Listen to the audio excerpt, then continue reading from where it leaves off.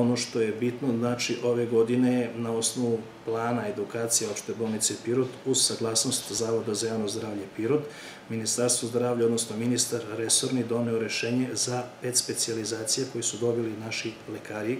i dve su specializacije. Tako da će ove godine biti upisana specializacija hirurgije, specializacija ginekologije, specializacija psihijatrije, specializacija interne medicine i specializacija iz oftalmologije a što se tiče su specializacije, bit će dva, dva lekara iz službe interne medicine idu na pulmologiju i na kardiologiju. Tako da će se naš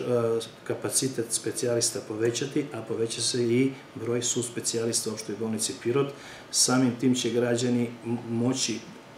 subspecialističke usluge koje su po pravilima organizacije rada službe pripadaju tercijalnom nivou moći da dobiju i u Pirotskoj bolnici, na taj način bi smanjili šetanje naših građana i omogućili da problem reše u svom gradu i u svojoj bolnici za koju se nadam da je podržavaju, jer onaj ko je sagradio bolnicu treba bolnicu i da čuva.